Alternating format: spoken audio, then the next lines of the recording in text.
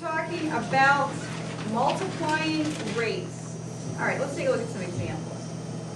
Five cents for one pencil. Kind of looks like a fraction. But the thing that makes it different than a fraction is you can write this another way and have it mean exactly the same thing. All right? I can write it this way, one pencil for 95 cents. And those mean exactly the same thing. They, they describe the same thing. Now, can you do that with a fraction? Is 95 equal to 1 95th? No. No, it's not. So that's why rates are a bit different than just the fractions. Although we will work with them similarly, you can flip them and they still describe the same situation. And by the way, these are referred to as reciprocal rates. When you, when you flip them, this right here, I'll put in parentheses, is the reciprocal, reciprocal rate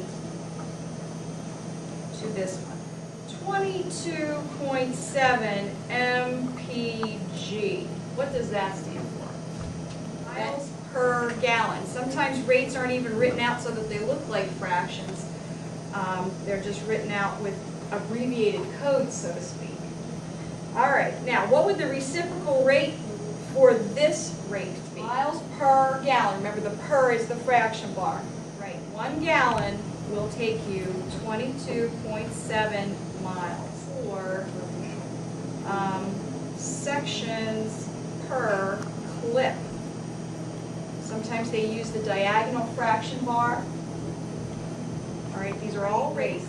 Now, can anybody give me the reciprocal rate for this one per 324 sections? Now, the whole purpose today, though, is to take these things and multiply. them.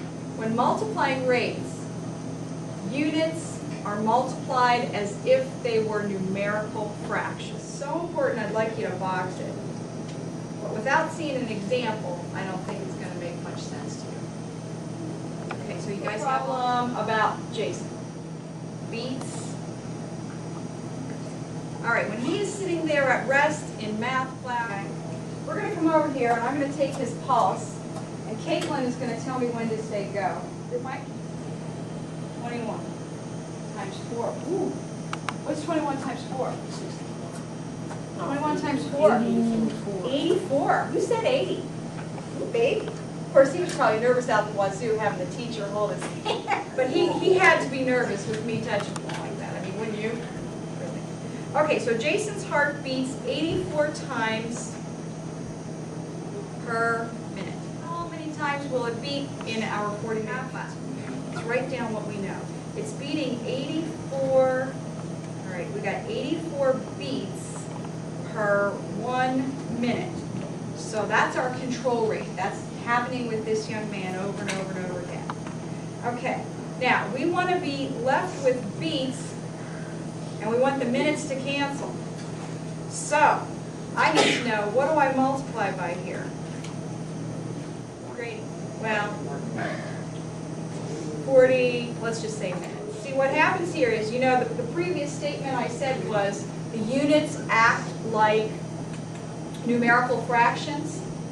And the question is, how many times will it beat? So, beats are not allowed to cancel, but minutes can cancel. So we're gonna have minutes canceling, and this is 40 minutes for one class, right? So that's the rate, and I'll get beats per class then.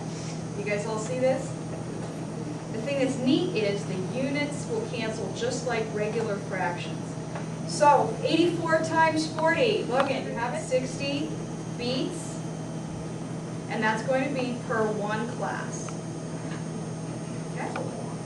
Yeah, all right, now I've read recently that you have to burn 3,500 calories to lose a pound. How long do I have to sit down there without eating, sit down there at my computer in my basement to lose two pounds? How are gonna set this one up? Suggestions? Per one hour. Okay. Now, we're gonna multiply that by something, let's see, how long, I need hours, I need to be left with hours. See, 3,500 calories to lose one pound. Let's just try this. 3,500 calories to lose one pound. And I want to lose two pounds. Two pounds. All right, we got a problem here. Is anything going to cancel the way it's set? Okay, pounds will cancel. I'll be left with calories, calories per hour. Is that going to help me? What do I have to be left with? Mm. Okay, all right, well, how could I rearrange this so that the calories would go, if I switch this one? If I switch this one, maybe it'll work. Let's see. Let's see.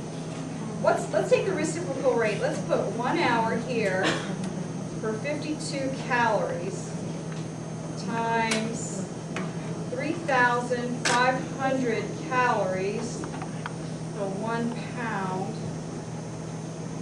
And I want two pounds. Well, actually, the question just said, how long must she work to lose two pounds? So maybe if I leave this up here, even though the pounds will cancel, and the calories will cancel, will I be left with a number of hours to achieve this two pounds? Okay, and maybe that's really what the question's asking. And I wanted you to see this, with these rate problems, most of the time, unless you have a really, really easy one, you've got to play with it a little bit, like we are doing right here. So don't ever feel bad if the first way you write it out needs to be erased and tweaked a little bit with recip times 3,500 times 2. Okay, so we're going to get 7,000, let's see what the units would be, hours. 7,000 hours divided by 52 on the bottom. Okay, what does that, I rounded that, so I better make this approximately, what did I say, 134.6? Yes. Okay, 134.6, holy tamale. That's hours. All right, just humor me for a moment. Take that number and divide it by 24. How many days would I have to go without eating? Five. Ah, Do you think that this chick could go five days without eating? No, it's not happening. No, it is super not happening. Oh, okay, but there you go. So, so, you know, working on your wiki is not the way to lose